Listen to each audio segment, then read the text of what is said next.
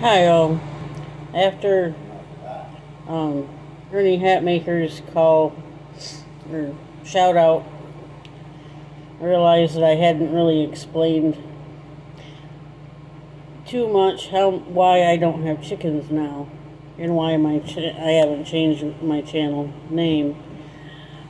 Well, where I used to live before I lost everything, I had chickens and ducks and guineas and started to get into turkeys.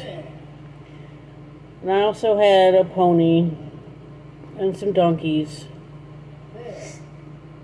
before my house fire. And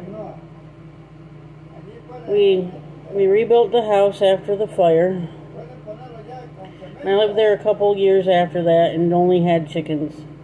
We the larger animals we sold because we couldn't take care of them living in our we, we didn't feel like we could take care of them when we had to rebuild the house and um, live, live in a tent in our backyard. So, but I did a video about or a photo montage, and I will explain the pictures as I go. Thanks for watching.